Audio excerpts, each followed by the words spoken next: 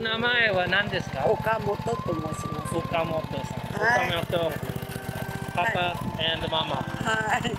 このファミリーはこの畑だだけやってる？うちは、もう年だから、うんうんここだけ。あここだけ？あとは頼んでる。なるほど、なるほど。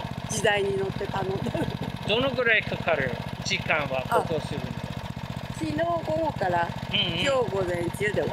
あうん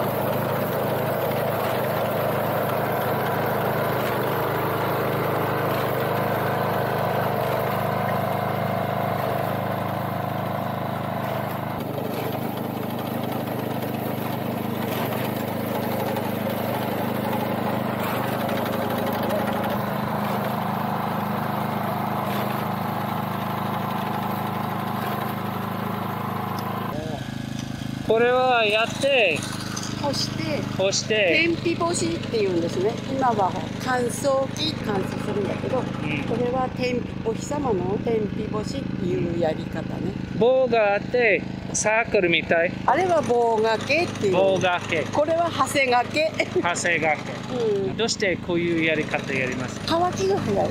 ああいう棒掛けは上下ひっくり返さなきゃ。これはそのまんまで OK。終わったら売れますか？それとも友達にあげるとうん、そうか。。あのー家庭で消費する。ううん。